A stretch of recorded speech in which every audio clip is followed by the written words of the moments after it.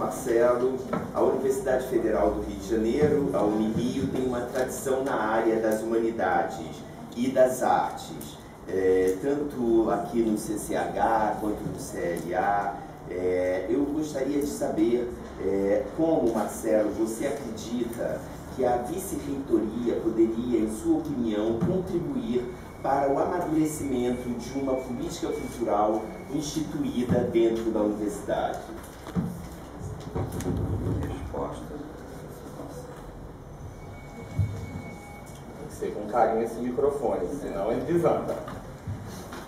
Bom, primeiro, é, dizer que talvez tenha sido um, um equívoco. É Universidade Federal do Estado do Rio de Janeiro, não do Rio de Janeiro, a FRJ é ali do outro lado. Segundo, a própria a resposta já está na sua pergunta. A vice-reitoria é um órgão que tem capacidade propositiva, mas ao mesmo tempo é um órgão gestor que atende a uma demanda da universidade. Uma vez que exista uma política universitária que dê conta de aspectos culturais e artísticos, cabe à vice-reitoria implementá-la.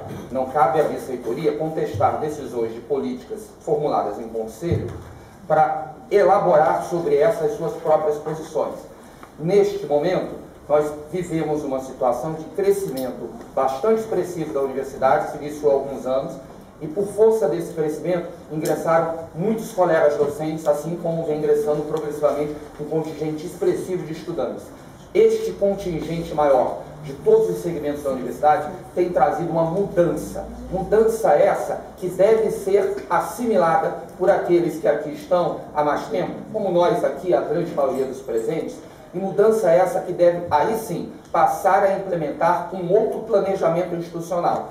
Como também muitos aqui sabem, ao final deste ano encerra-se o período do Plano de Desenvolvimento Institucional. O PDI é um marco regulatório institucional, abaixo apenas do Estatuto do Regimento, que dá frente ao projeto de universidade para os próximos anos o PDI vai certamente ter o tempo e a qualidade de incorporar tanto esses novos participantes da universidade, como as demandas oriundas deles, porque eles não trazem apenas números, eles trazem a qualidade e a excelência dos alunos que ingressam na Unirio e a excelência dos profissionais técnicos, administrativos e docentes é que tem feito o suporte institucional e a qualidade da nossa instituição. Nós temos muitas demandas, isso não há dúvida. Demandas que são demandas de necessidade e há também as demandas de desejo. Em cima das demandas de necessidade é que eu proponho que a vice-reitoria possa atuar junto à reitoria para estabelecer, aí sim, um planejamento de atendimento. As demandas são de tantas naturezas distintas que, obviamente, uns dirão que tem natureza física, outros de pessoal. Este não é o aspecto que deve ser tocado. O aspecto a ser tocado é que cabe à vice-reitoria e à reitoria, em uníssono, tratarem das questões que são prioridade institucional, estabelecerem uma forma de execução e darem resultados à comunidade a que elas servem. Um minuto para a réplica do professor da Costa. É, não, não. É, muito obrigado, Marcelo. Só um pouquinho, só agradecendo antes, você não estava contando prazo nos comentários sobre o microfone. É, muito obrigado, Marcelo, por ter imaginado que é, seria válida a retificação no nome é, da universidade, a Unirio. É, todos sabemos que não tinha do Estado e passou a ter num certo momento. Então, em nome da Unirio, antes de é, dar a minha réplica, eu digo que é claro que nós todos sabemos o nome inteiro da Unirio mas de qualquer maneira é bastante sensível da sua parte ter querido é, supostamente é, retificar. É, é, certo. É, a Unirio é uma universidade multicamp já existem atividades eh, do Centro de Letras e Artes da Extensão no hospital.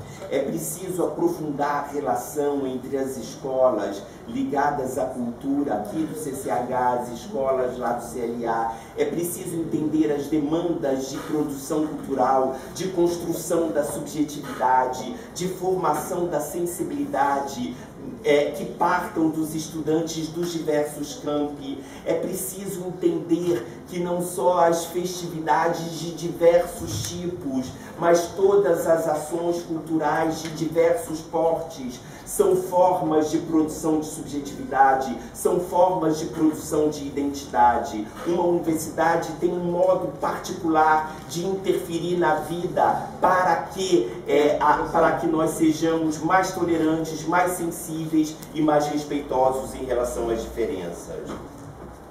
Um minuto para a réplica professor Marcelo.